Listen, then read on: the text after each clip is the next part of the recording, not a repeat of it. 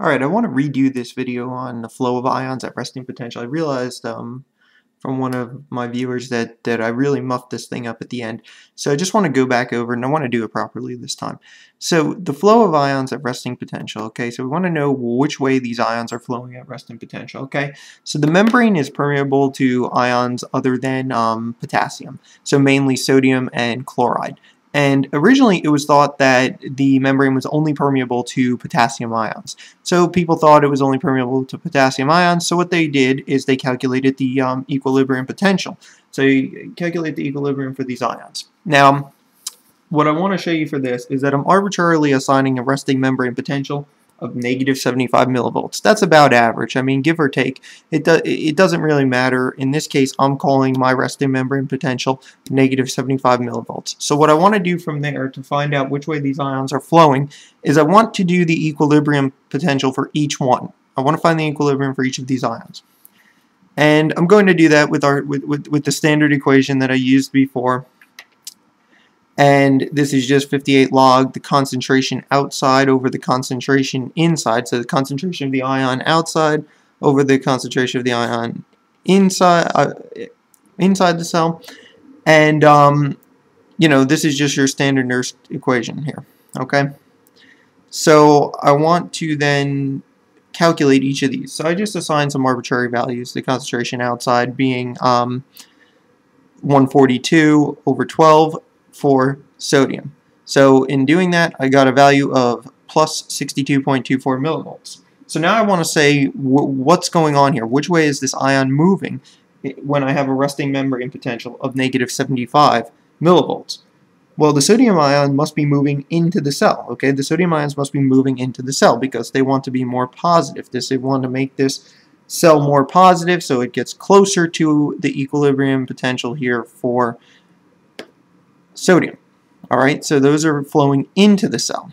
Now I can do the same thing for chloride ions. Okay, I got these chloride ions. Um, so I do the same process, only I use a negative 1 here in order to get my signs correct. And I wind up with negative 85.67. So again, I compare this negative 85.67 to the negative 75 millivolts.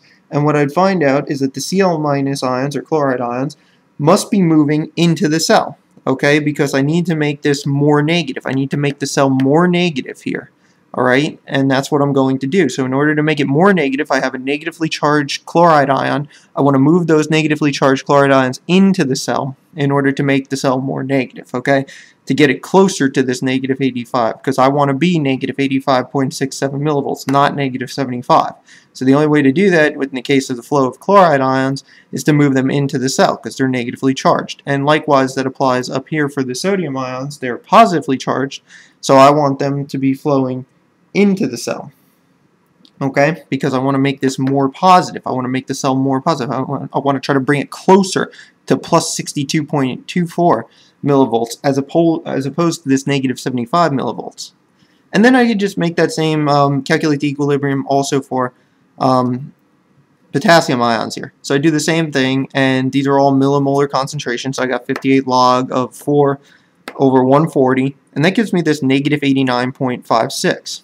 And this is one of the reasons why it, you, you know it's not necessarily um, true that there's that there's other ions being um, flowing at this at to create this equal to create this resting membrane potential.